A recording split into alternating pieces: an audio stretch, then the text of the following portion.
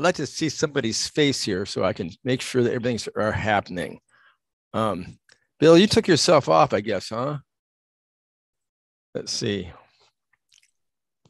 Oh, Whoa. still here. There you are. Why don't you leave us your, your face on, Bill, so I can see your face. And if there's um, any questions, could you have people ask in the chat and you monitor the chat and just just wave your hand like this if there's if there's a question and I'll be happy to answer it. Sure thing. Great. Okay, wonderful. And let me see, I'm just going to put the two of us on here. Okay. okay. So um uh sci- science and beekeeping. And I, I run the website Scientific Beekeeping. But science is not about test tubes and lab coats and all that. Science is about a way of thinking and about a way of answering uh, questions based upon evidence. And with beekeeping, beekeepers had things pretty well figured out after uh, Langstroth. Uh, uh, and these the, the, beekeepers in the 1800s, you read um, how much they knew. They really understood their bees uh, very, very well. But as anybody who has kept bees for very long realizes, there is a lot to learn about bees. And I realize that I'm going to uh, die with more questions than I ever uh, started with in beekeeping. And one of the uh, terms, a good phrase for business management, is that the most dangerous words in business are because that's how we've always done it. Uh, we, we are continuing to learn and improve, and new things happen. We get new parasites, new pathogens, new environmental uh, things happening, the climate's changing. So beekeeping will change and we need to change with it and we can figure out how to, how to do it. This is the uh, uh, scientific publications over time um, with Apis mellifera um, uh, in, the, in the title. And you see there weren't very many until we got um, started getting some problems with uh, colony collapse disorder, the old type of colony collapse disorder, not what they call colony collapse disorder now, which is mainly lack of uh, our poor varroa management. But back then we had a, an event that started about 2003 and colonies started dying uh, along with the uh, invasion of Nosema ceranae. And it got the public's attention. And then you can see the publications just take off like crazy. So we have a lot of, of, of practical questions. I always have practical questions. We make our living with keeping our bees. So we have um, practical questions about what we should do uh, all the time. My sons are always asking me, and I'm asking my own. So to get meaningful, get meaningful answers, answers, we use the scientific uh, method. The scientific method is you, you start off with a, a question up, up, here at the top, and um, um, you do some background research. Somebody may have already answered that question, and now with the internet available, uh, it's not too hard to uh, to find information. But be careful on the information. Make sure you, you go to a site that actually has legitimate uh, answers, not just somebody who's just um, talking out of their hat. And then you uh, construct a hypothesis um, and then test it with an experiment. That hypothesis is that you um, suspect that this is the reason that something is, happening. And then you, you go through, um, through the experiment and then analyze, and analyze draw con- conclusions, and then you can communicate results. And that a lot of what I do is communicating results of my own uh, research. Now, there's different kinds of research and depending upon how deeply you want to get involved with this. So I'm going to go through different ones right here. Uh, first, observational studies, then exploratory experiments or confirmatory experiments to, to confirm something that uh, maybe somebody else has done. And this one right here is a, a big one because a lot of the things you read about beekeeping, beekeeping management are based upon one single study or one person saying something, and then it gets parroted over and over and over again without anybody ever confirming it or replic- replicating it. So um, um, I do uh, like to do some confirmatory experiments and then comparative trials. Um, this is a lot this like consumer like reports um, um, testing, and I, uh, I just finished some large comparative trials. So let's just go through a few of these. So an observational study. So what I'll do is, is uh, I'll tell you the question of the type of, of study here. So uh, what is the amount of mite immigration into my hives in late summer? People are always talking about mite immigration, but there's been very, very few uh, studies. Um, so um, I performed one. I have not yet published it. I've been too, too far behind to publish it, but in 2018 I did this. So what you do is uh, you uh, treat your hives with synthetic miticides. I use two uh, independent ones, uh, uh, the uh, amitraz and fluvalinate. Now, we haven't used a synthetic miticide in our operation since 2001.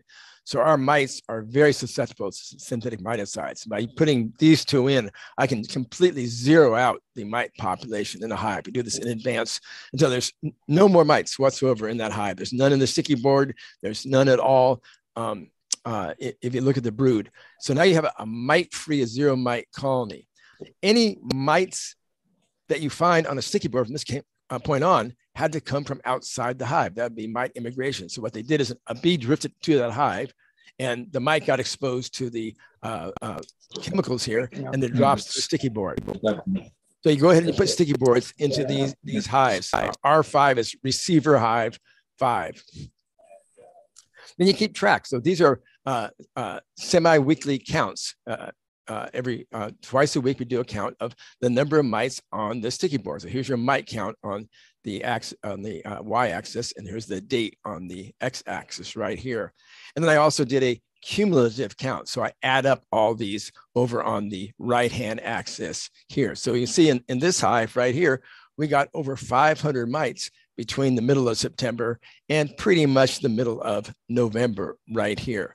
So um, this is um, one way to see is there mite immigration happening in my hives? And yes, this one did. On average, we did for a number of hives. We got about 250 mites on average coming over that uh, period of time coming in. My guess is if we had done it the year before, we would have had over a thousand mites coming in because we had a um, huge drift. Interesting thing was um, they did not appear to be happening from hives in our own yard. We had nine hives set up to collapse from varroa and we had marked the bees and uh, the mite immigration was apparently not coming from those hives. It was coming from uh, other uh, uh hives um, around. Not from there's very few beekeepers around me, so um, we're guessing it was largely from escaped swarms that are, uh, are become mite factories.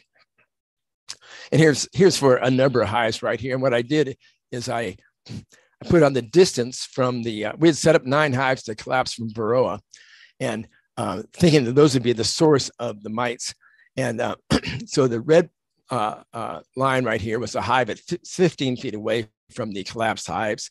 The blue were, they were 60 feet away and the greens were 500 uh, feet away.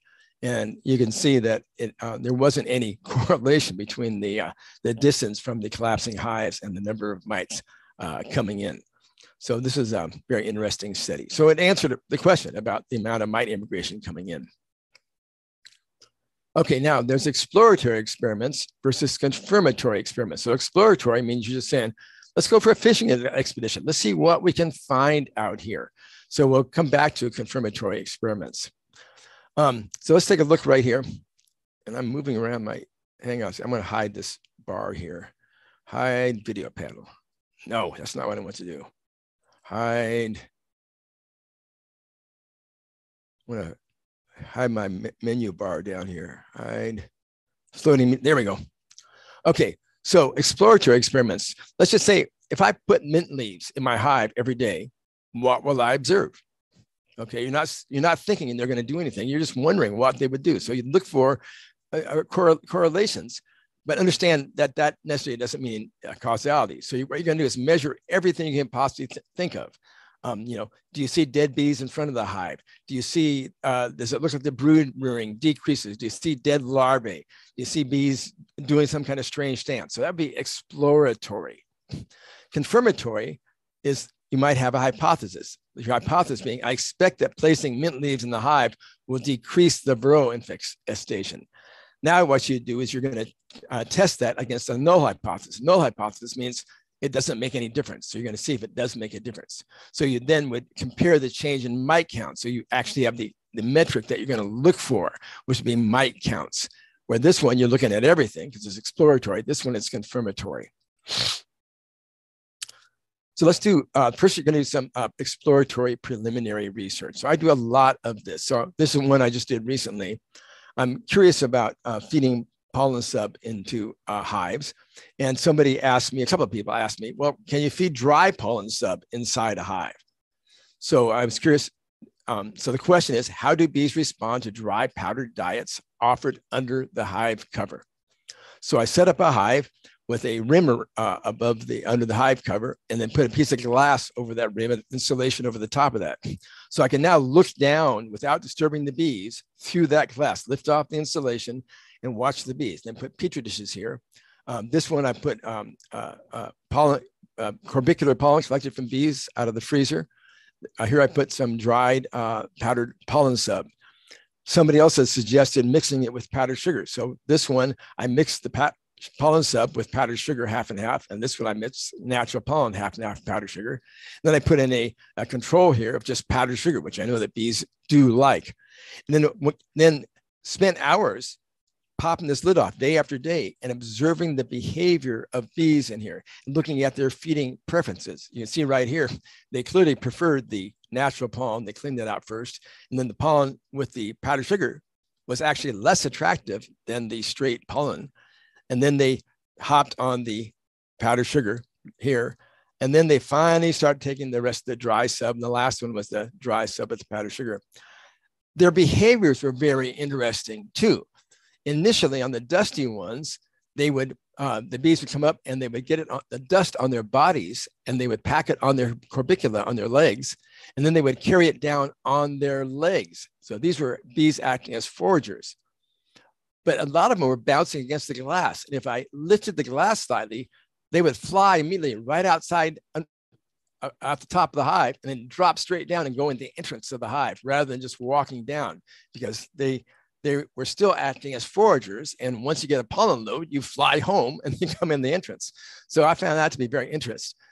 After a few days, as uh, humidity uh, uh, removed the dust of this and they, and they uh, swept the dust off, they changed behavior. And now they were picking it up in their mandibles. And I did not look closely enough to see whether they were consuming it or carrying it as trash. So what I would have to do is pick up these bees as they're walking away. And I'll, I'll do that uh, next time I try this one.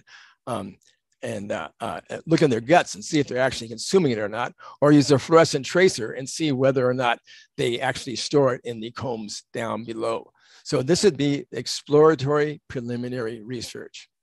And I learned a lot just by doing this. This wasn't a, a trial or anything, this was just exploration. Um, another one, I was curious whether uh, natural mite drop on a sticky board, whether it's affected by temperature or humidity. So I collected um, mite, uh, uh, mite, mite drops. So this is your, um, your mean mite drop from a bunch of hives. I, I monitored day by day. So every day went out and did it. And then this is your uh, maximum temperature for the day. There's your average temperature for the 24 hours. And there's your uh, minimum humidity uh, right here. And as you can see, the mite drop did not correlate with any of those things. So um, that pretty much answered my question that there wasn't a, a correlation between either temperature or humidity and mite drop. Okay, then there's confirmatory experiments. You test a claim. I do this a lot for companies, um, or if beekeepers ask me questions about a claim, say somebody's selling a product to beekeepers and they make a claim that it's going to do this for your hive well then um, if enough people ask me that i will often go ahead and test that claim and then i publish them on my website. So also claims that i see that maybe i'm curious about. So one is that um, the sugar shake uh, for a uh, uh, uh, assessment that um, and it's on most of the websites the university websites says the reason it works is because when you roll the bees in the powdered sugar they get agitated that heats that they heat up their wing muscle, heat up their bodies, and the heating of their body causes them to release from the bees and they get powdered sugar on their feet and they fall down. So I was curious about that. So I talked to a few of the researchers who had put that on their websites. I said, Oh, um, could you tell me where the study is that actually showed that the bees heat up? And um, I kind of got blanks from everybody. So I said, Well, was that just an unfounded assumption they did that? Somebody just make that up? Was that actually data? So I thought, well, that's not a hard, not a difficult experiment. So I uh, took samples of bees and, and, and uh, rolled them in powdered sugar. Um, in fact, here, this is a quote from one of the university websites. The sugar acts as an irritant and the bees will generate heat when trying to remove the sugar. It's the heat that dislodges the varroa mites from the bees. Well, that's easy to test. You just stick thermometers inside them. So I used a, a, thermistor right in the middle of those bees and also an infrared thermometer right here to look at them from all angles and their temperature never rose at all.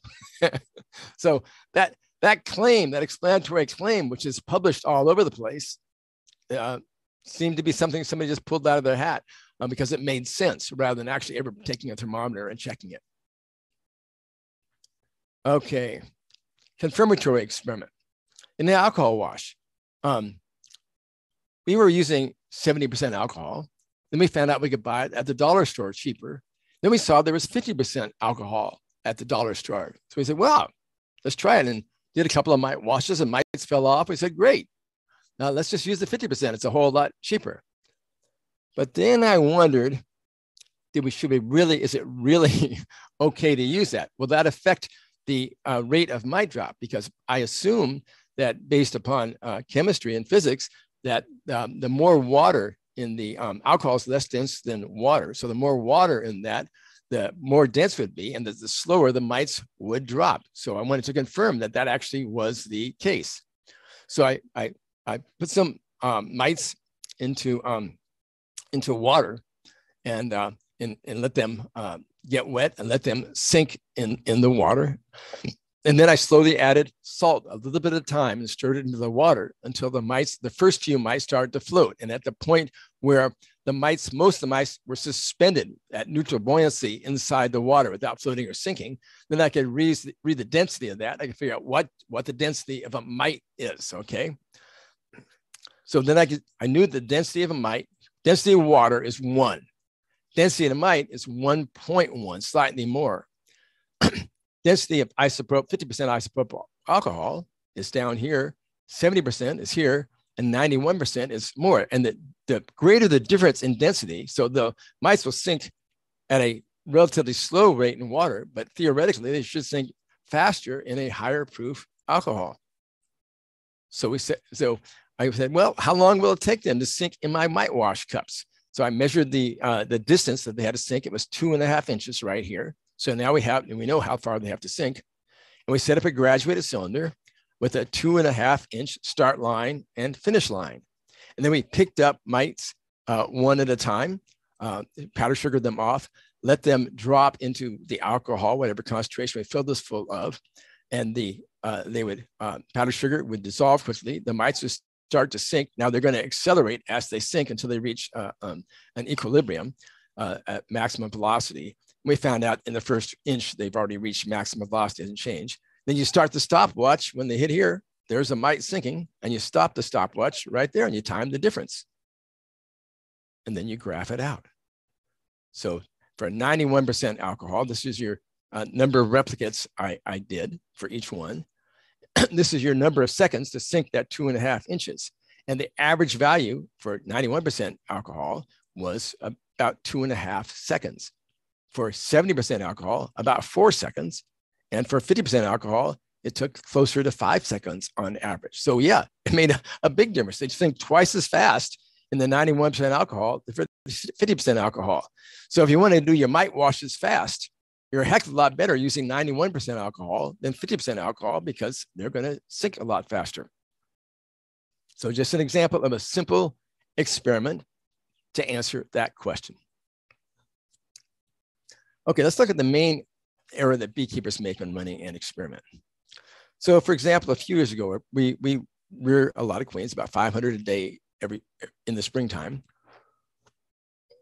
And some weeks we get a whole bunch of them dying from black queen cell virus. We see the sides of the queen cells turn black and we take, take them, uh, um, uh, open them up and the uh, uh, mature like fifth instar larvae of the pupae uh, die and they turn, they turn black.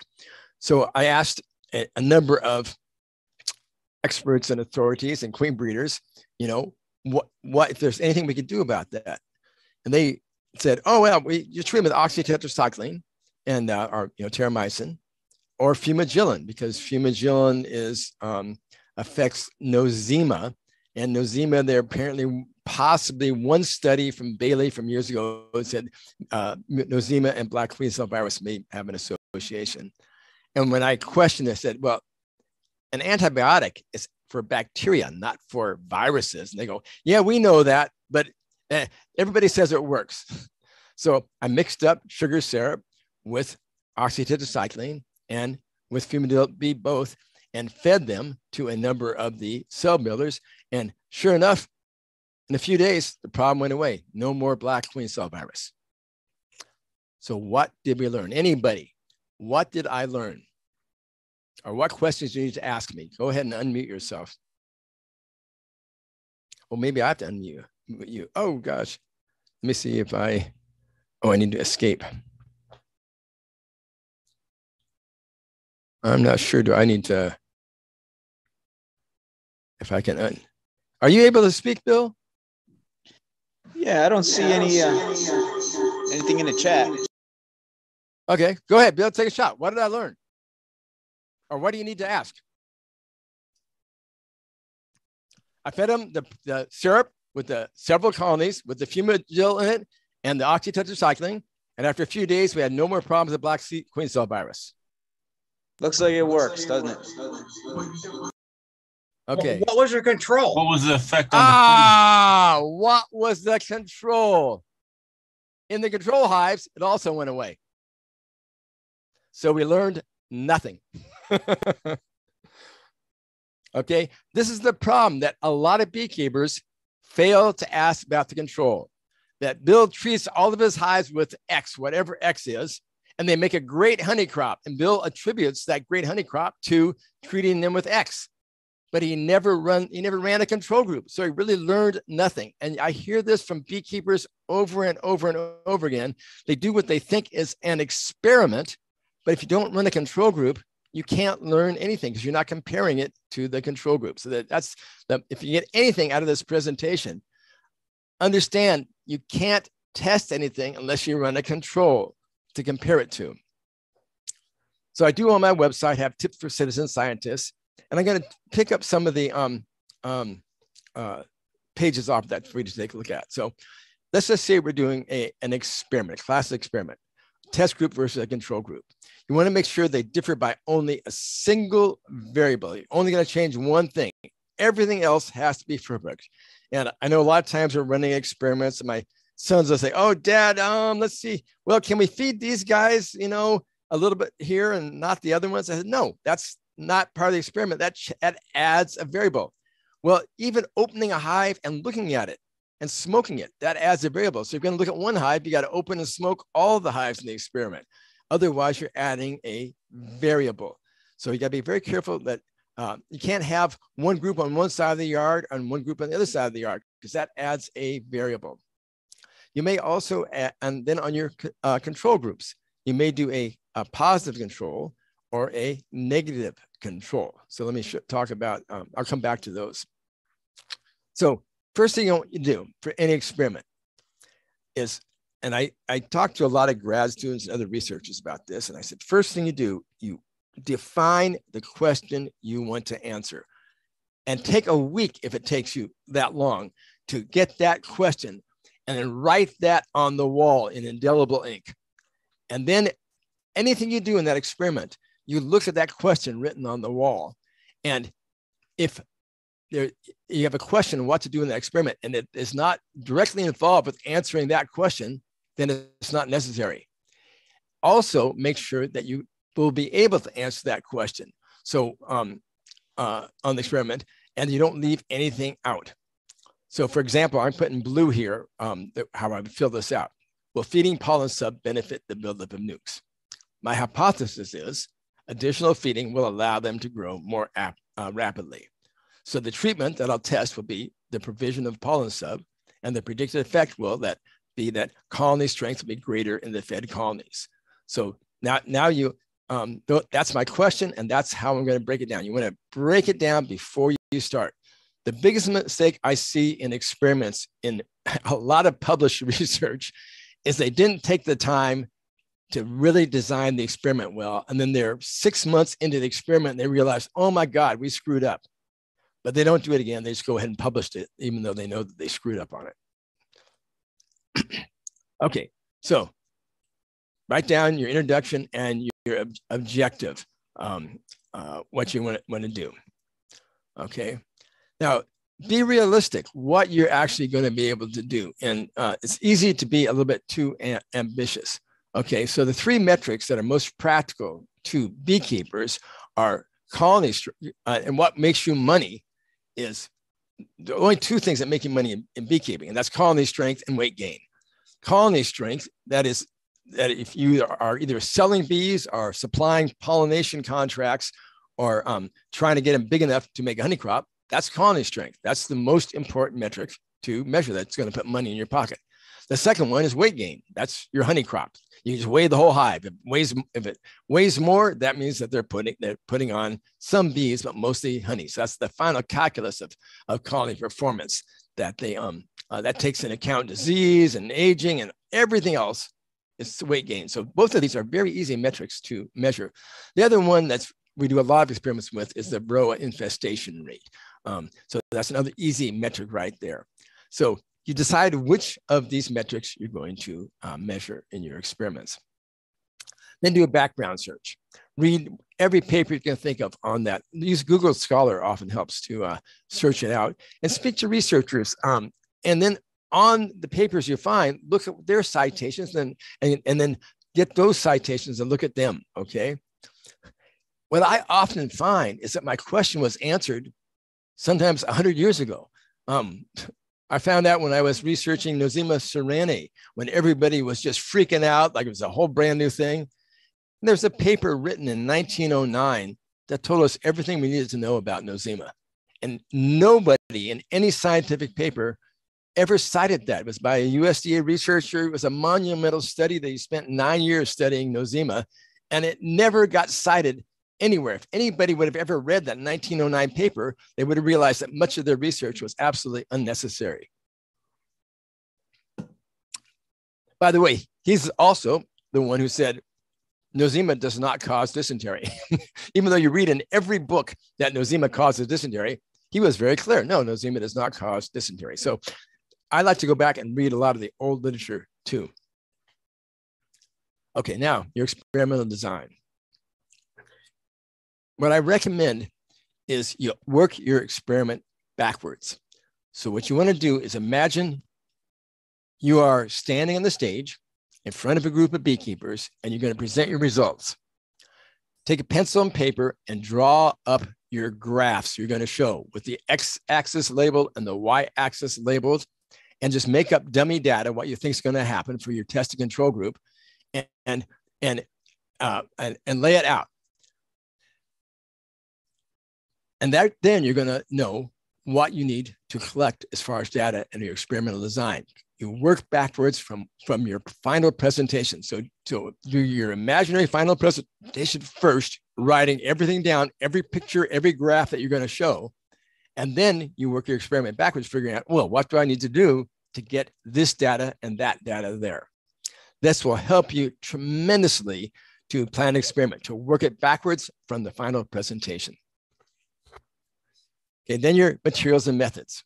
And this is again where I see people just really fail to, to take the time to really figure out everything that could possibly go wrong and everything that's needed in your materials and methods. This should be thoroughly written down and, and spend a week thinking about it before you start your uh, experiment.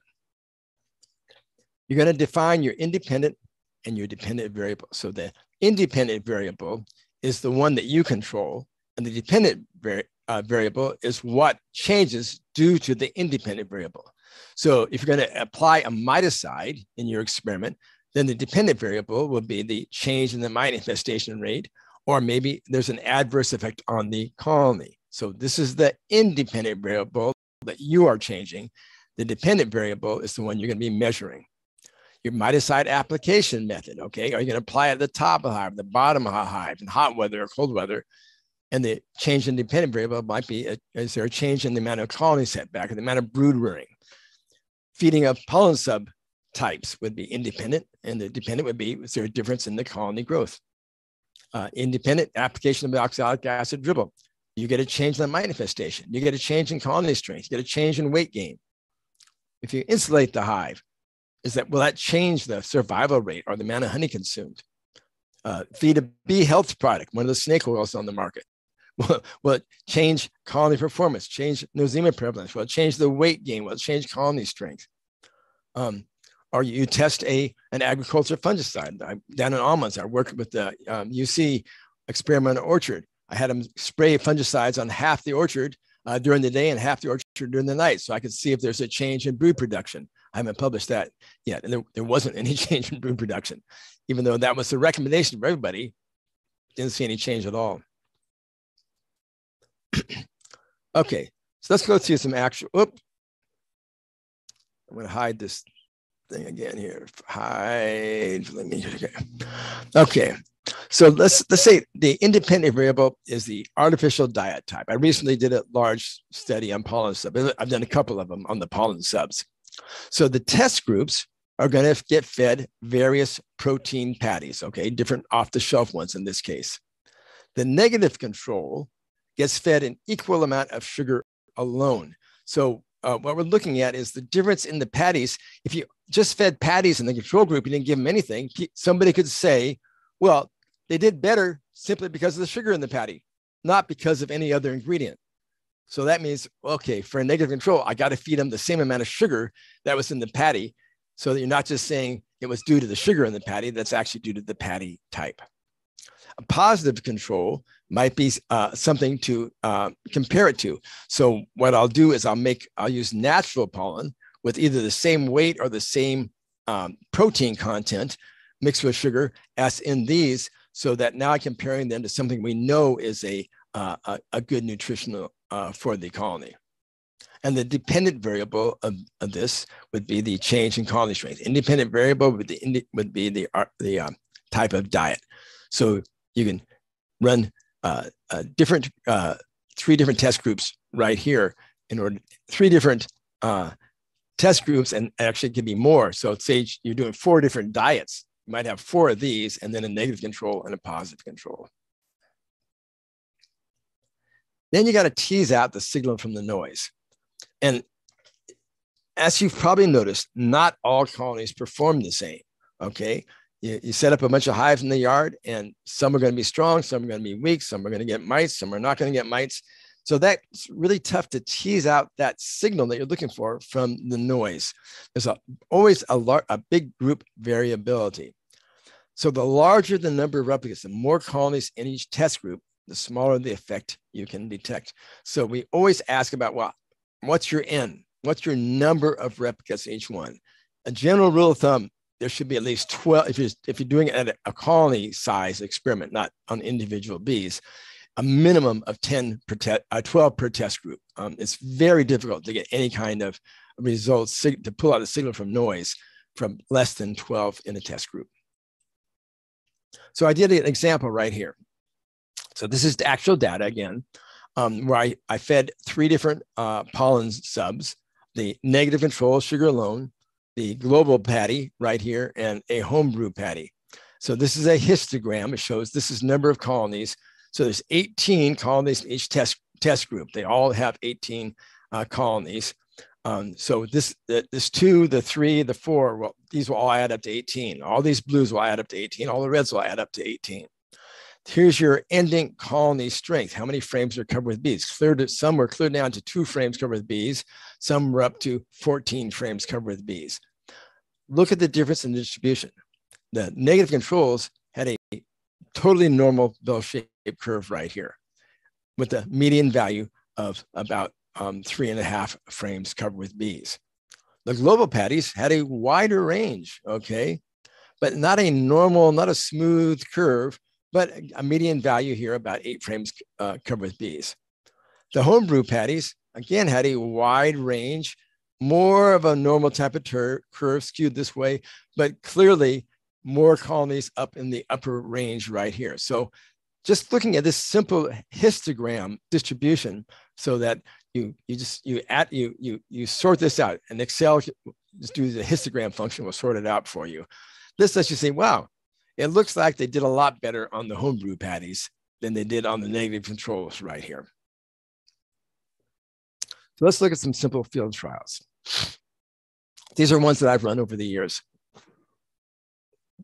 I just pulled a few simple ones that we go over quickly. So one question years ago, when we started doing uh, oxalic acid treatment on our nukes um, with an induced brood break, we were uh, first curious, does it actually uh, reduce the mite buildup?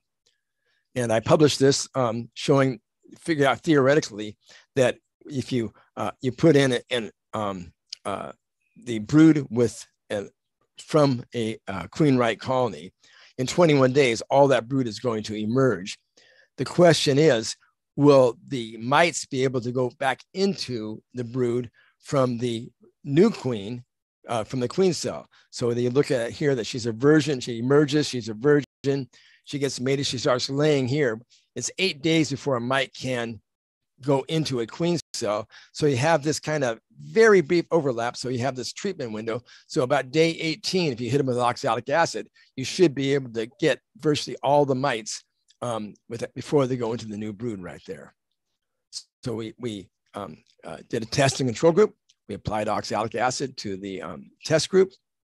And then we performed mite wash counts at four time points and then you just plot out the difference. So here's at day zero, clear up to day 87, three months later, and we look at the difference between the ones that we um, did not do any treatment to. And The mite counts clearly went up, and I actually tried three different uh, treatments here, and the oxalic acid was the best. The mite counts were five times lower than the untreated ones after three months. So uh, very effective at reducing the mites. The question was, was there a trade-off? Does using the oxalic acid treatment affect the colony buildup. So go through, you start out, we cluster grade them. So we go out um, in the morning, uh, often with flashlights before the clusters break. And uh, here's my two sons. And um, we pick up the top box, and one of us grades uh, the cluster size in the top box. I pick up the bottom, and I see how many frames seams are filled with bees from the bottom and look at the top. And we call out our two numbers to the recorder and we grade each colony for strength. then after the end, 53 days after the uh, oxalic treatment, we wanted to see if there's a difference in strength between them. So the control group, not um, a bell-shaped curve, but you can see the median value, half, half or larger, half smaller, right here. The ones treated with oxalic acid were stronger. They had a median value of nine. So, so two frames strength stronger after uh, almost two months. So um, probably because they had a lower mite level. So obviously no adverse effect um, overall to colony strength. So that that said, well, that's what we're going to do from now on, and we have now for many years. So we don't when in our operation we don't just start doing something because somebody says it works. We test it out first and see if we get the hard data. Hard data. Hard data. We still have one more question: Would it affect honey production? So we ran a, a third experiment, and we weighed all of our hives um, uh, back then we were using a parcel scale, uh, split them in half, weighed them, and then recorded our hive weights over the season, and then average them out. So this is May 10, so the end of the honey flow in mid-July, and um, so we're looking at the hive weight gain. So there's no gain from the start. You zero everything out, normalize it here, and you can see by the end of the season, the oxalic ones actually made us a little bit more, but not significantly different. So there was no effect on the amount of honey production by doing the oxalic dribble. So after these three experiments, we said, okay, we're going to start doing oxalic acid dribbles on all of our nukes every year, which we've done now for many, many years. Okay, keep a written log. Here's the interesting thing. Something tiny detail that you may never even think is important. You may find out in retrospect was really important. I'll give you uh, an example. The researchers were looking with tracheomite. When tracheomite came through, they, it killed 70% of all hives in California. It just wiped us out. We were freaking out about tracheomite. And then some researchers were working at it in one of the USDA labs um, with tracheomite, and they were putting newly emerged bees into petri into um, beakers with um, uh, tracheomites to see if the tracheomites would infect the bees. And in an insect lab, what you typically do in a beaker, you grab a little bit of Vaseline around the inside of the beaker, and that keeps the insect from crawling out of the beaker. So they put Vaseline in there. And for some reason, one group of their um, bees in the beakers did not get infected with tracheomites, and they could not understand why they did not get infected. So they looked back in their lab notes and that day they had run out of Vaseline. And instead of Vaseline, they said, oh, well, we'll use Crisco instead. And what they found out was the odor of Crisco prevented the mites from identifying a bee of the proper age to invade its trachea. And they came up with the cure for tracheal mite by pure accident. And the only way they discovered that is they looked back in their lab notes and saw they had done some tiny little detail differently on that day. So you never know how important your notes are. Don't trust your memory, not even for a moment. So when my assistants are working with me and we call out a mite count or something like that, they are not allowed to talk, look the other direction, do anything else until they have written that down. You don't, you can't, you're not allowed to, to hold something in your mind for even five seconds. So um, I type up all my uh, handwritten notes in a log book. So what I do is I keep a trial log with me, writing down every day what we do. And uh, in our, I, I print out um, data sheets in advance. We put notes on the, the, the, data sheets here. We're putting whether the colony strength here, and then all these things will be transcribed uh, into um, a, a document. But these are very important. All of your field notes. Record every detail. Okay, some tips. Cluster grading. Very effective. Um, there's another method called Liebefeld grading, which involves pulling every frame out. And I have big issues with that one. It's very uh, disruptive to the colony. And depending on your inspectors, can be very, very inaccurate. In almond pollination, these are almond trees back here. We get paid by cluster grading, and uh, a skilled cluster grader is very good. My sons and I can independently look at a colony without talking and write down our three grades, and we'll always be within a quarter frame of one another on our grading. So cluster grading can be very accurate. You look up, you see what percent percentage of the space between the frames that fill the bees. We do it to the nearest quarter quarter frame. And then we write that down. For weighing, you can uh, tip them, pick them a hive up, put it on a scale. We use a digital crane scale on our overhead loaders, which works well.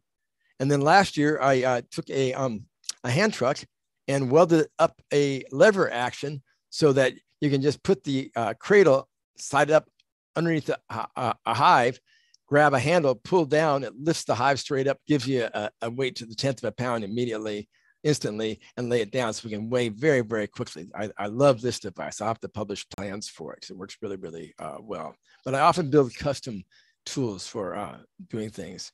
Then here's Mike Palmer over in Vermont. Very simple way. You just take a postage scale, you take your hive, you tip it up on one side and you balance it with one finger at the top. When it's balanced, all the weight is right on the scale, right, right there. So you can act uh, weigh with just a simple postage scale very accurately by tipping your high until it balances on one corner. Sticky boards, um, I make I custom make these um, uh, with a uh, uh use my regular bottom board and move the B way um, uh, from the back to the front here so I can slide the sticky board in the from the back without bothering the bees. Um, uh, um, the best ones we make is out of the um, the Cortex um, uh, shower stall uh, plastic from the hardware store. It works really well. It uh, stays nice and flat. Before you put any grease on it, take a, a black uh, Marks a Lot. Marks a Lot felt pen works the best, better than Sharpie, better than any other brand. Marks a Lot felt pen, draw a grid on it, and then that stays on there for years, even with the grease and everything. Um, we use a thin paint roller with a, a mixture of uh, Vaseline and mineral oil, very light roll over, and then you scrape it off with a drywall knife very quickly um, to get sticky board uh, counts. Um, and also a hand clicker. So you don't you don't want to say, oh my God, where was I? Was that mite number 492 or was that 429? I better start all over again. So using a clicker helps counter, helps a whole lot with your mite counts. And you see, writing them all down on your data sheet. Okay, using mite washes uh, here. Sugar roll, um, very inaccurate, inconsistent. So we, we don't uh, use this any anymore. Um, the best we found is either 91% alcohol or uh, Dawn detergent. um, uh, which works very, very well. And for counting, we use a, a six inch diameter 10x magnifying mirror placed about four inches below the cup. And then it makes it really easy to accurately identify and count, count the mites. Um, and then if you're going to take your mite washes, whoops, you can't take them from any random frame. We, I've, I, I published this of whether you should take them from a brood comb, a comb with bee bread, comb with honey, or just a drawn comb, and then the average for the entire um, hive, the, all the combs. And what we, we found is that the combs um, that are alongside the brood as, a, as opposed to the brood, look at the huge variability of the uh, in the brood combs. Okay, get some really sky high numbers and low ones, whereas um, the the combs that are next to the um, brood are more representative of the overall uh, colony uh, uh, uh mite infestation rate. So we don't disturb the, the brood frames. We take all of our mite counts from the first comb alongside the brood nest. And um, uh, so you just want to standardize what, what you do. And we shake them in a tub. We let the older bees fly out.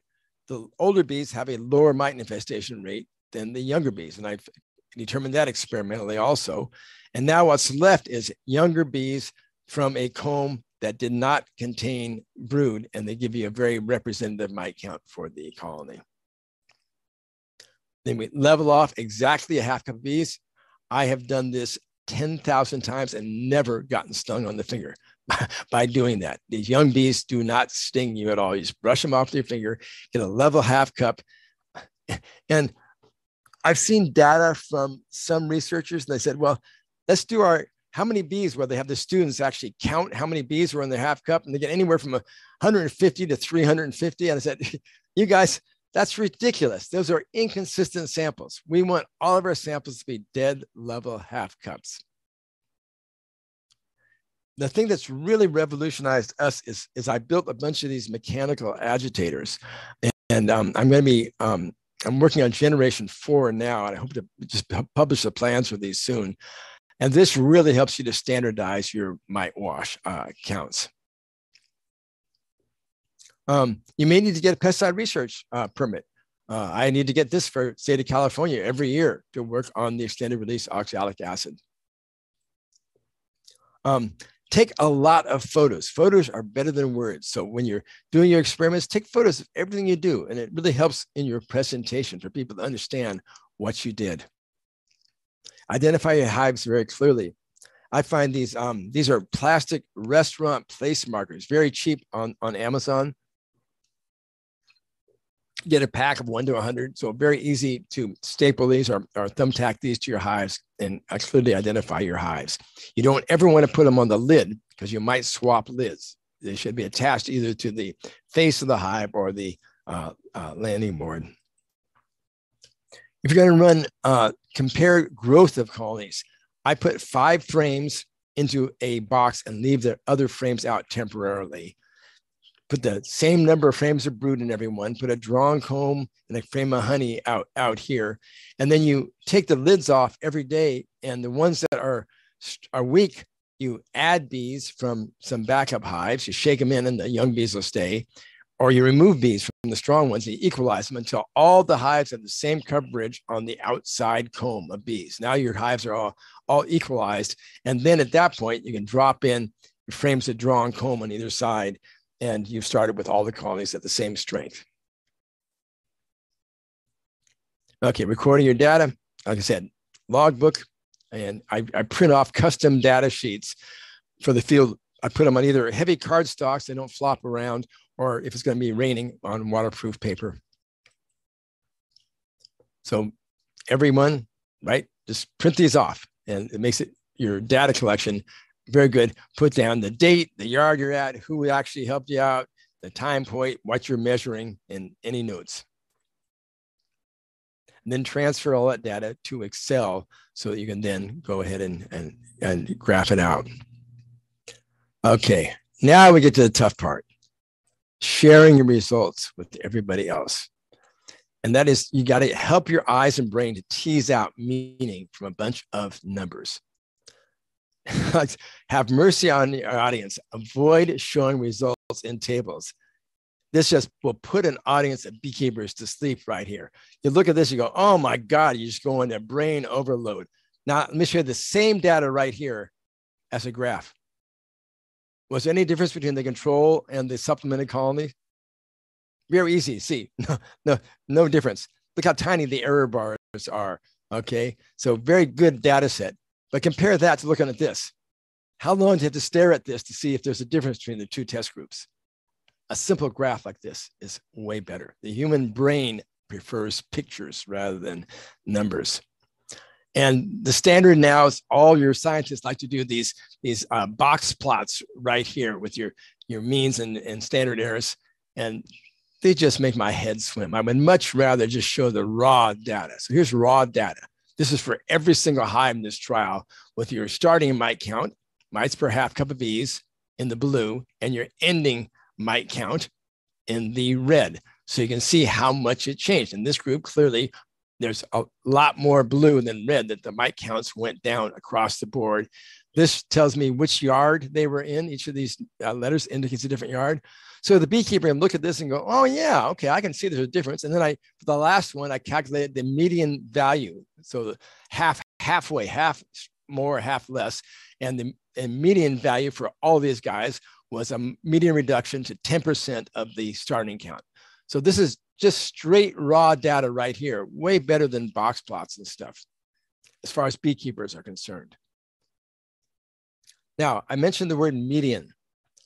So here's the raw data right here, the number of mites per half cup of bees from zero to 30 across this group of hives right here. This is actual field data right here.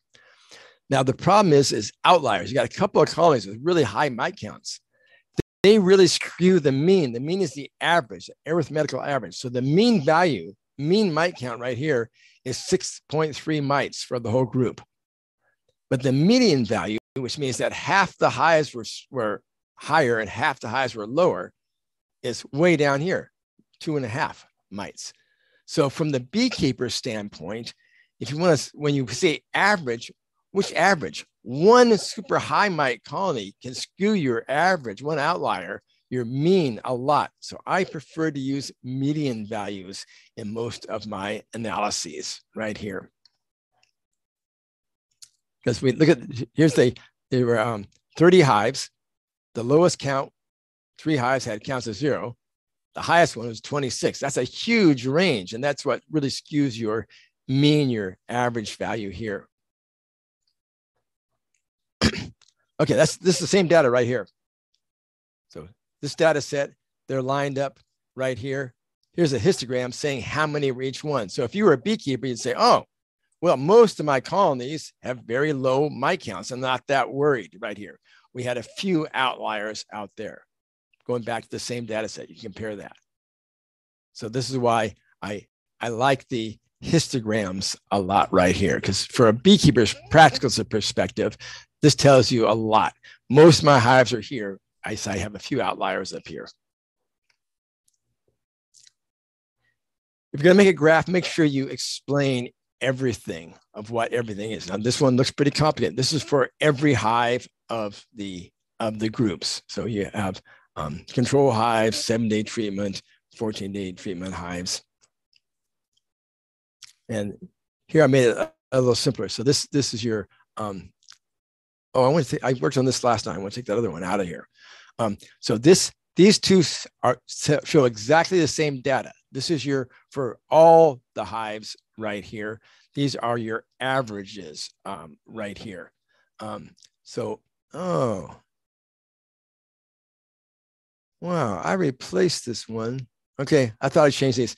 I just called these treatment A and treatment B here. So so this would be your um, control was blue, treatment A and treatment B. So two different ways of looking at it. So you can you can do it yourself and see how you want to present that. Make it make it simple so beekeepers can see. I showed you this one before, a combination of both the individual uh, columns and the cumulative. So you use two things on the same graph. Um, error bars. So you can do standard errors of the mean. So this means there was a lot of variation of the control group. Okay.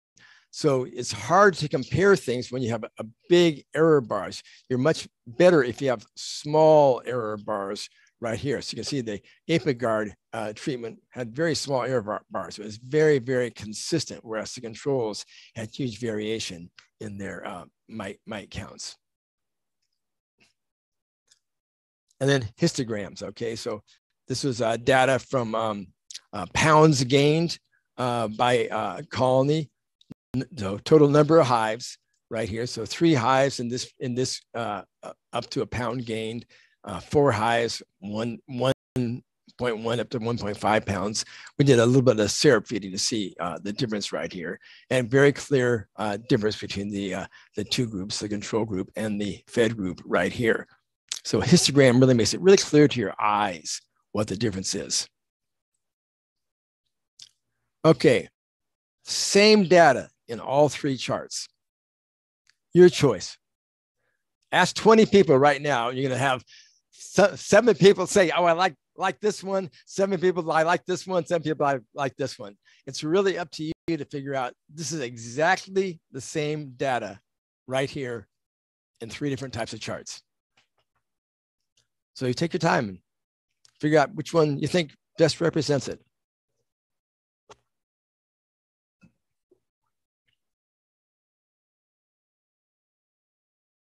I spend a lot, a lot of time on my charts. When I when I do an experiment, get my data, I'll spend hours and hours and hours figuring out just the right chart, putting it up, putting it up in a PowerPoint. Like, oh no, that's not clearly labeled. I got to change the, the y-axis labels. I got to change the legend right here. I got to change the x-axis. Oh, I need to change the title so it's more explanatory. Take a lot of time if you've been to very many bee conventions, especially with scientists, they get up there, they start throwing tables and charts at you. And by the time you even figure out what their axes mean, they're already going on to the next slide. So I see these audience of beekeepers going, oh man, I didn't learn a damn thing from that presentation. Spend a lot of time on your charts, make them for the beekeepers who you are going to try to share your data with. And then there's scattergrams to show whether there's a um, uh, you, are looking at um, two different uh, metrics, like the before count, the after count, the treatment, uh, and the resulting something. And you look for a correlation. So if, if you put a regression line on, so there's no correlation here, if they line up, there's a, a correlation. And so I'll show you a couple of these. So here's a scattergram right here. This is your um, uh, bees um, uh, measured colonies measured over winter. Each one of these dots indicates one colony. This is your spore count uh, for Nosema spores on December 20th. And here's your percent loss from the starting strength uh, earlier in the uh, season. And that, that details would, would all be there. And you can see there was almost no correlation. R squared is your percent of the variation explained by this regression line. So only 4% was explained by this. You're looking for an R squared value much higher, like 50%, 0.5 would be meaningful. So there wasn't any correlation between the uh, Nosema spore count on December 20th and your loss in colony strength over winter. This, this informed me how much I should worry about Nosema. This says, don't worry about it. Now, other hand, I uh, recently published this one where I was uh, predicting based upon the amino acid deficiencies in the pollen subs um, and uh, their performance. So this is your, out of the 18 hives, the total number of frames of bees out of that group that went to almond pollination. So out of the um, 18 uh, hives, we took 130 frames of the home group brew group. The control groups are the uh, uh, the healthy bee group. at those 18 hives, we got 40 frames. Huge difference. But look at the R squared value. 82% of the correlation was based upon the amino acid deficiency. So this is, means this is, does not look to be a spurious correlation. Uh, and when I calculated the um, your uh, your um, um, probability, this is four chances out of 100 of getting this kind of correlation, which means this actually meant something this was enough that I could tell the manufacturers, I think I got some here, guys. I think if you look at your amino acid deficiencies, you can make a whole lot better pollen subs. And anybody that looks at this graph goes, oh my God, you could have told us before you even did this trial, based upon our analyses, how well our pollen subs were going to perform. So this really got, really got their interest. Now this one, this one is a really busy one, but I, I like it because if you look at the look at the healthy bee group, this is um, so your endpoint. Uh, uh, this is your midpoint strength for the colonies in frames of bees, eight frame uh, uh here, ten framers. Here's your endpoint strength, and there was a clear correlation between the uh, midpoint strength and the endpoint uh, strength. This would be your no change. So any ones above got stronger, any ones below got weaker. Look at the colors of the dots. What color pollen sub tended to get weaker? See all the greens down here? The green group tended to get weaker. Which one tended to get stronger? Oh, look at these red ones up here, the homebrew up here, and the um, global right here, the, the blue circles right here. So you can look at this and you can really go, your eye can pick out those patterns. You can learn something and say, yeah, you know, you don't have to tell me about standard deviations and, and means and meetings and stuff. I can look at this right here and say, boy, if I'm going to feed a pollen sub, I'm going to feed these colors, these red or blue, not the white controls or the green, uh, this other one down here. And this is by doing this yourself, you may this may inform you going, oh wow, I should analyze deeper and look at things because this shows me a pattern right here that now I can start teasing things out. And this statistics. and what I see, the more statistics a researcher uses, the less the less I trust their results. Um, so um, what they all have to do is they have to get a p value, a probability value that they want to have a p-value of less than 5%, 0.05. Um, that means that one time out of 20, that could happen by chance. Okay. If they had a p-value of 0.01, that means one time out of 100, it would happen by chance. Um, and that's called a, a very strong um, uh, uh, significance.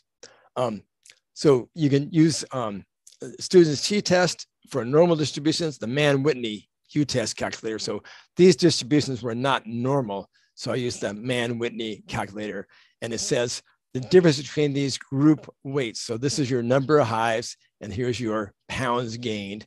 And you go, wow, I can't tell whether, whether it, it, it looks like maybe the reds are a bit, bit better, but the controls, you have these two really weak outliers Does that make a difference. And what it says is the p-value is 0.38. That means uh, a third of the time, more than a third of the time, you would get this just by random, ran, random uh, uh, randomness based upon the difference, uh, the, the variability in here. The result is not significant at probability of less of 0.05. Okay, the null hypothesis versus the medians of the two samples are identical. So this is this is the test that you you would do that helps you if your eye can't pick out. You've seen some of these histograms so far this evening where it was very clear that the red group was different from the blue group. This one, you would want to run statistics to see if there was a, a difference. And sometimes the linear regression that they that is calculated out here. So this is your mites per half cup of bees, your out your mite wash count, and there's your 24 hour mite drop. And you see there's very, very poor correlation. And when I did it, plotted out the linear regression from in Excel, it only predicted 6% of the, of the placement. But if I look at it with my eyeball, I go, you know what? Actually, I think this one right here, that's like three times, I made it up, I put it in and said, three times your mite wash count. So this, this puts your mite drop at three times. And actually, I think that was a better fit than the linear regression. Gives you an idea. And this tells you how hard it is to correlate the mite wash count to the um, natural mite drop count. There's that I see scientists over and over again try to come up with a number. You can't come up with a firm number. They're, the two of them are totally different uh, things that are happening in the hive. Okay, we're getting near the end here. Um, incubator trials. I make my own incubators out of uh, old upright freezers. Um, they work really well. Put I use a hair dryer, uh, a low wattage hair dryer uh, inside, uh, and um, use these cup cages. I came up with this design, and this design is now used by um, the USDA labs um, for all their, their research. Uh, so here's a cage trial one. Um, I was curious to uh, do the Pettis test uh, for amitraz resistance for mites. I didn't know how much of a strip of apivar I should put into a cup. And then I said, wow, a lot of beekeepers say, well, how long are those apivar strips good for? Because it says that after two weeks on the package, you should throw them away once you open the package. I said, I don't know why uh, amitraz doesn't evaporate. It should be good for a while. And so I noticed on the floorboards of my truck, there was an old apivar strip that had been kicking around for some months after it had been in a hive for uh, a, a dead out for over a year. So I said, well, let's test uh, an old beat up one against brand new ones. And uh, so I hung these strips underneath the, um, the lids right here and put a, uh, a, a 30 milliliter scoop of bees into each cup and then put them all into the incubator at um, uh, normal hive temperature and humidity. And then you count your fallen mites at four, six, and 24 hours.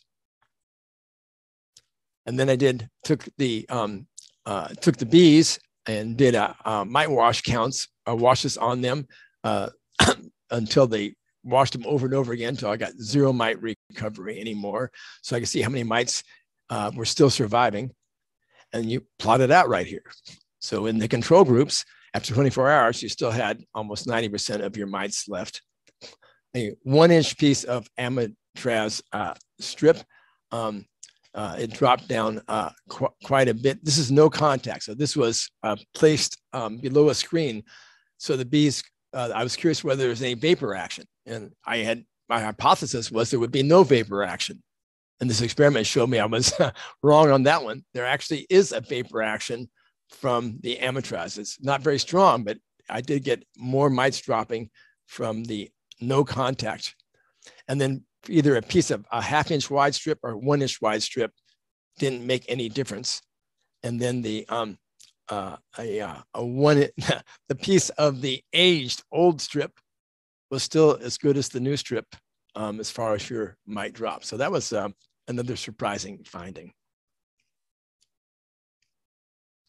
So for your applied science questions, practical benefits, does it increase colony strength or colony survival, weight gain, Varroa counts, nosema, or does it save you time or money? So these are the type of experiments that are worthwhile actually doing. Let's see. How much time have we done so far, Bill? I get I, I could show you um, that that's pretty much covered the nitty gritty. I just threw in some, I think one more trial. Up to you guys. Uh, maybe another five more minutes. Okay, we'll try this. Okay, so here's a comparative trial of the pollen subs. Um, I, I replicated this in three different test yards. You want to see if you get the same results in each yard so that uh, otherwise you really don't know if you do it all in one yard whether you get the same result again. You really want to replicate experiments. Anything that's only been done in one study i question like there's a study out there that everybody cites. One researcher said did a cage trial said oh varroa can't reproduce if the humidity is above 80% in the hive well, crap, that would mean most beekeepers in the southeast during summer varroa would not be able to reproduce because the bees could not possibly get the humidity down below 80%.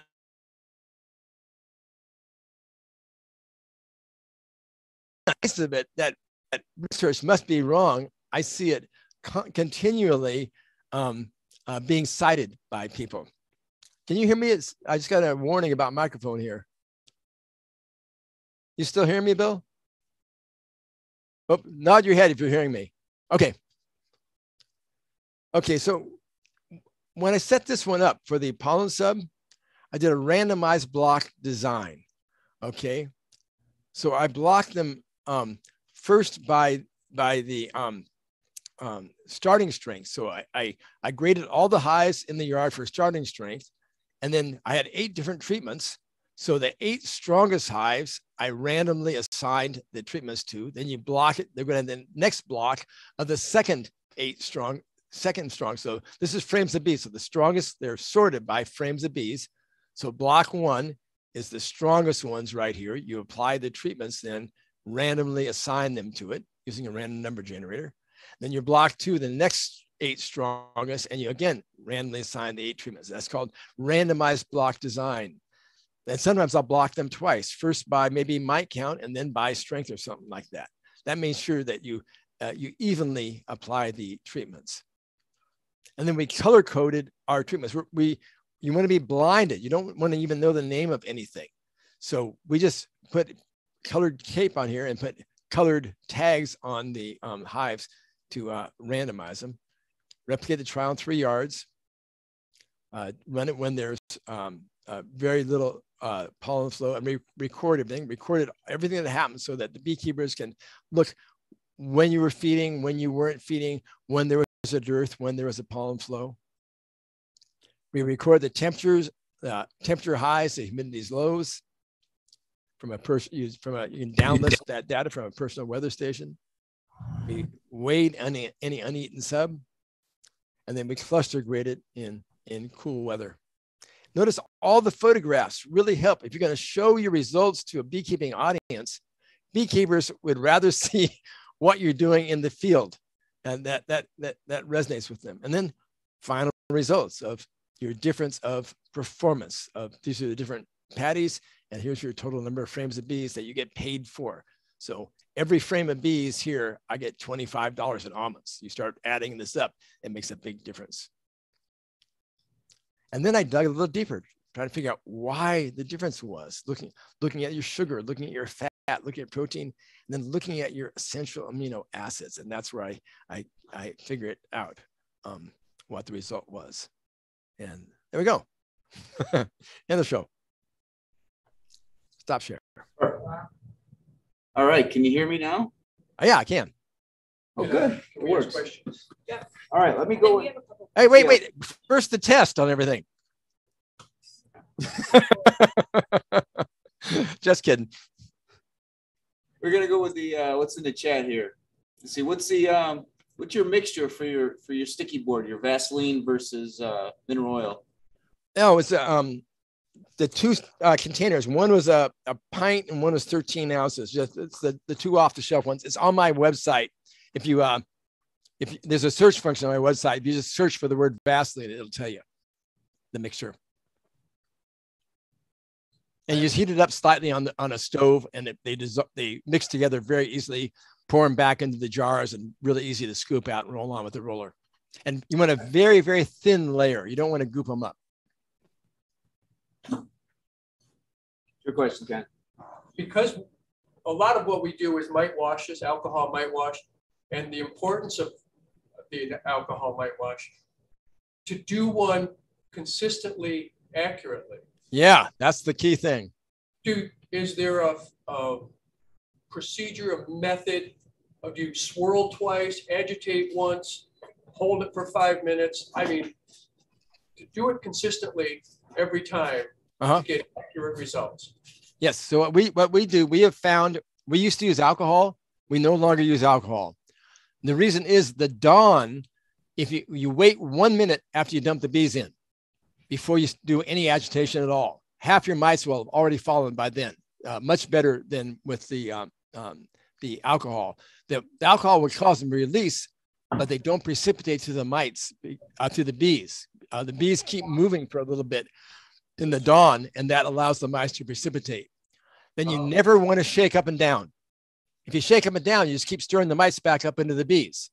You only want to do a, enough agitation that the mites can jiggle down, precipitate down through the bee's body. So a gentle swirl uh, works best.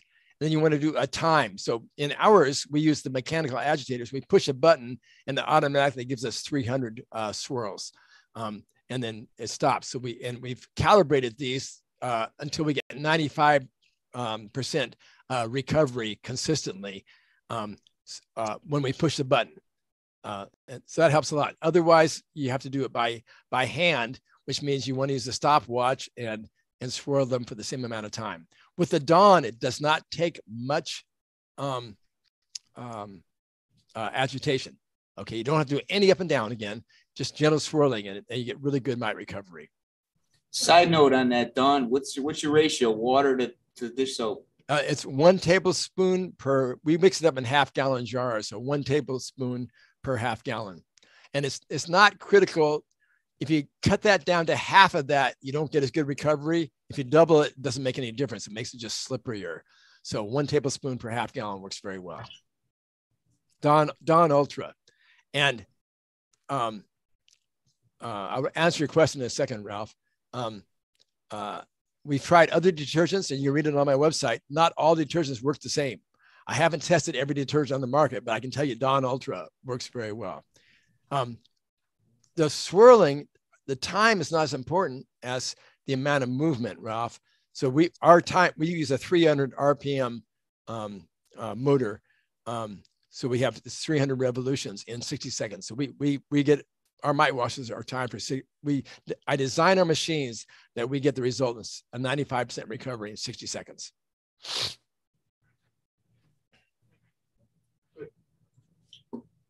You scroll up the, the uh, chat there, see if there's any more questions up top.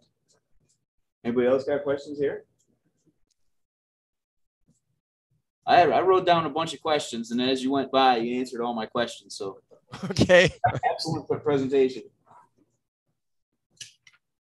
Yeah, it's, it's really, you know, doing bee research is so much fun. You got to have, if, if you only have a few hives, then do an observational study or something small or incubator study or something like that. For a field trial, you need to have more hives. Like I said, you have to have at least 12 in a group and, and more than that, 18 or 24 is, is better. So that takes it, you either have to have um, a larger beekeeper to collaborate with or, um, or combine your hives into one apiary.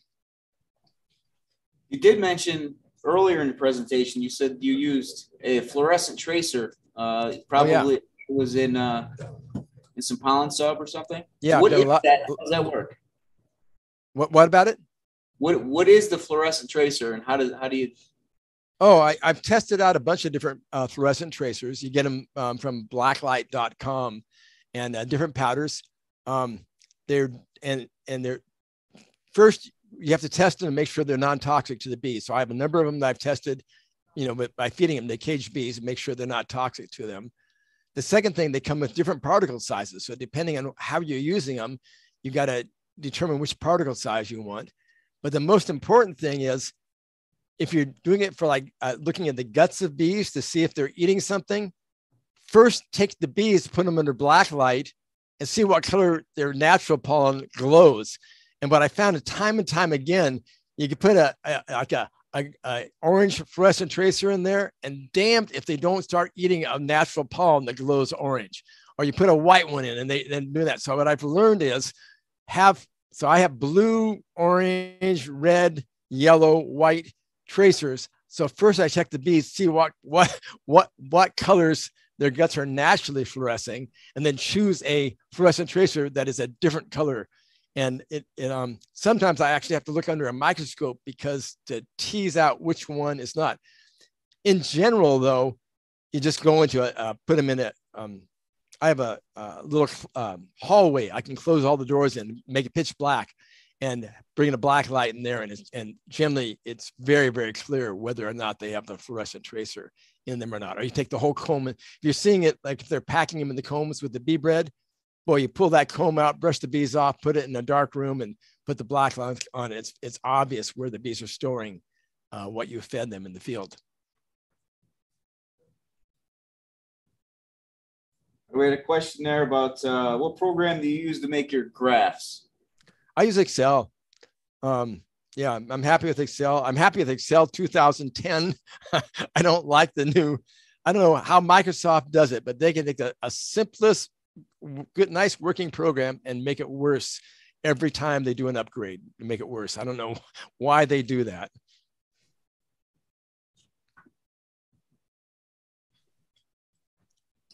All right, how about?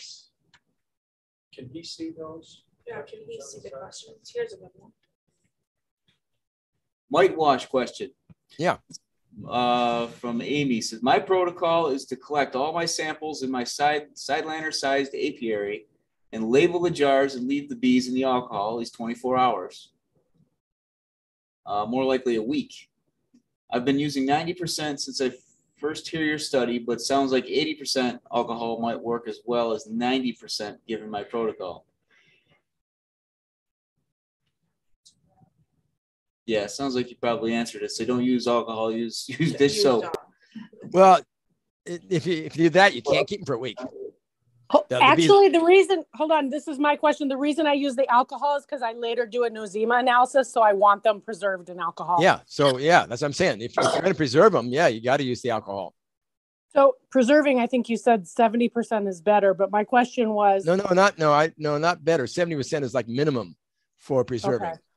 Okay, because I've been using ninety and I just wanted to know because you said that they precipitated out faster at the ninety, but if I was leaving them for a week, I didn't know if I still needed to use that. Yeah, But if I and what I find with preserve with with older samples, even at seventy, they start to degrade, and the um. So if you're going to store them for a while, yeah, I'd probably go with the, the, the higher proof alcohol. Okay, thanks. You bet. About uh, the weight gain, you mentioned to, to, to weigh hives. Now, obviously, honey is the most dense and it's going to create the most weight. Uh, do you figure out how much of that weight is also bees or brood or uh, or pollen or wax? Dep- depends upon what you're interested in. So if I'm looking at just to see the weight gain, I'm using it as the final calculus of colony performance, which means total weight uh, tells you how well the colony did. If you, you start off with, with a, your starting weight, you set that at zero, anything that's gained mean the bees were, if they're, they're successful. If they're not successful, they cannot gain weight in any form, either in bee bodies, in comb, in beeswax, uh, in stored pollen, in, or in honey. So if you're looking at one metric to look at the success of a colony, total weight gain is a, a good metric. Okay. Yeah, it's much easier. I mean, trying to separate out honey where I see uh, experiments is well, well, we harvested this much honey. Well, what the that is so subjective. What do you harvest? so now, if you say, okay, well, what we're going to do is we're going to harvest. You define it, and you say, well, we're going to har- t- we're going to weigh whatever is above the queen excluder. Well, that's possible. What if one colony just had bees will preferentially store honey first below the queen excluder before they store it above? So if a colony was lighter in weight, had more empty comb below the queen excluder, they could store as much honey down there as they stored in the up before they put any in the upper boxes. So measuring honey is much more subjective than just measuring total weight. There's no sub- subjectivity. That's an objective measurement. There's also the last thing I think in all this, and nobody else has questions here, uh, is your homebrew recipe for your pollen sub. Uh, how do we find that? Look at my website. Yep. So it's all up there. It's yeah, I put it right in on the um it wasn't my it wasn't my formula. Um, but I did publish it in my I think the I think the last article has already oh, it may not be on my website yet. It got published. God. No, I think I I, have an assistant who who posts after I publish an ABJ, they want me to wait for two months before I put stuff onto the website. And and and I've written it two months before it gets published. So when people ask me what's on my website or what's up, you know, that's four months behind. Four months is an eternity to me because I've already moved on to other projects and written whole new papers and everything like that. So I I I I, I don't always keep track of what what's up. But two months after it's published in ABJ, I put all the articles on my website. I have another question. Regarding the commercial pollen substitutes. Yeah. if you've Taken those results that you have and gone back to the manufacturer and showed them results. Would we anticipate some changes in their formulary uh, coming up soon? That well, what's your opinion of the intelligence of the manufacturers?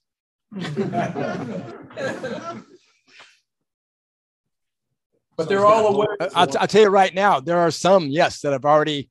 Um, we almost ran a, a, a trial because they're good, and we'll probably do it. Uh, uh, any, I'm happy to collaborate with anybody if they do something for the benefit of the industry.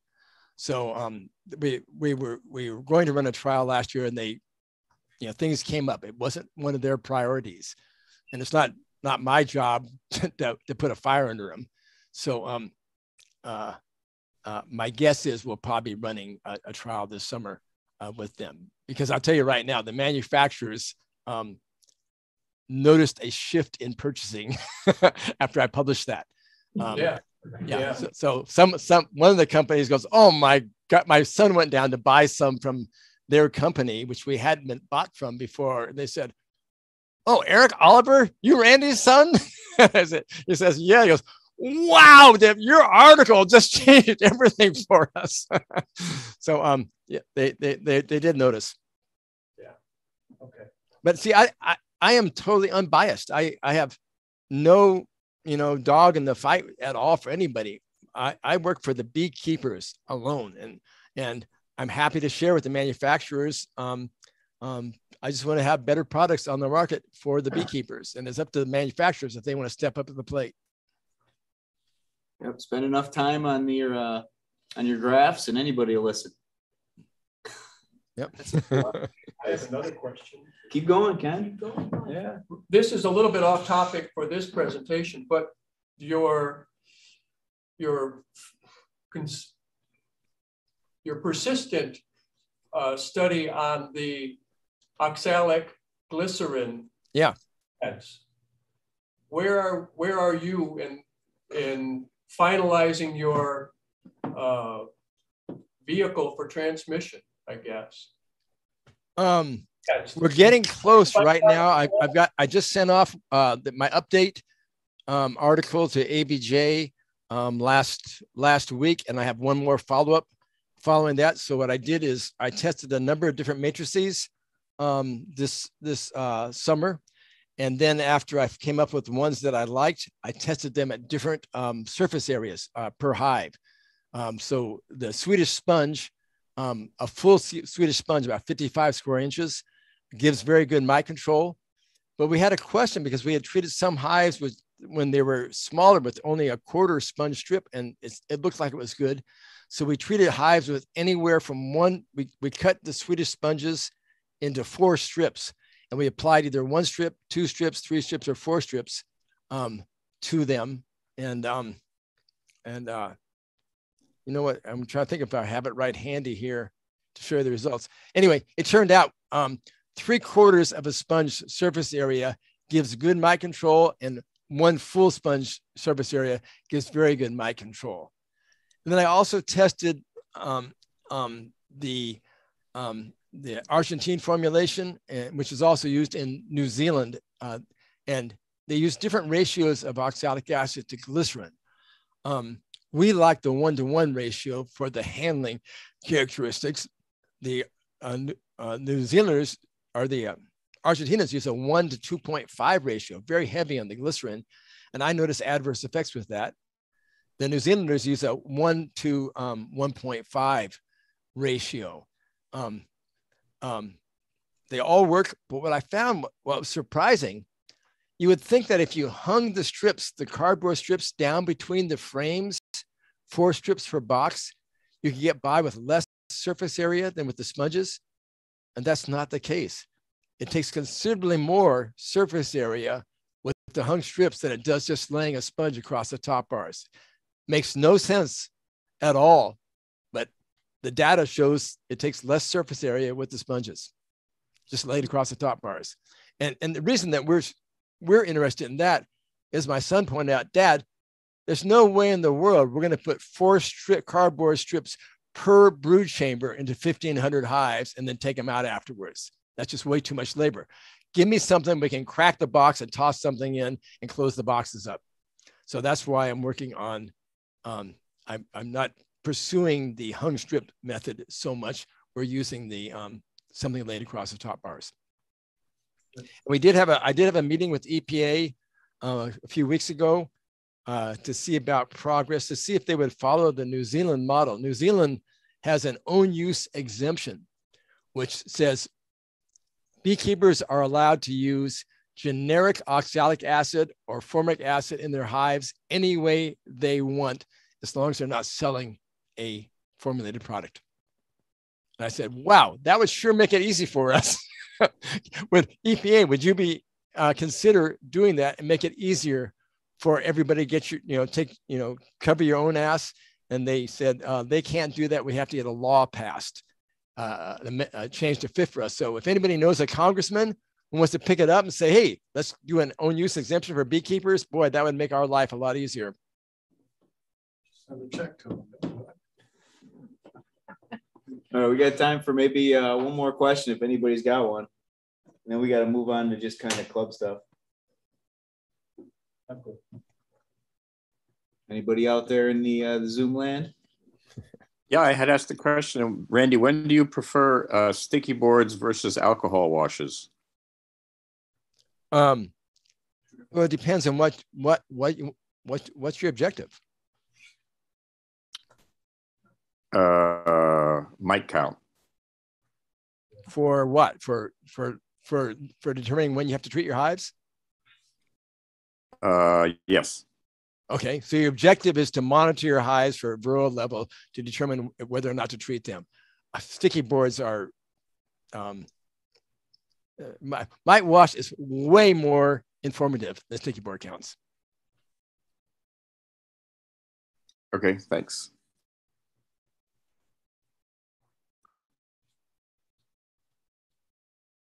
All right. Well, thank you, Randy. You bet.